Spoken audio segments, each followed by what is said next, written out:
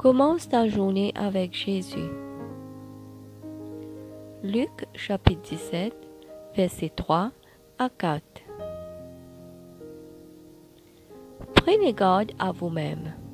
Si ton frère a péché, reprends-le. Et s'il se repent, pardonne-lui.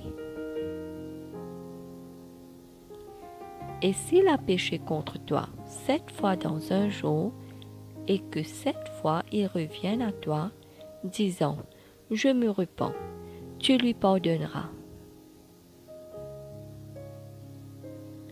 Amen.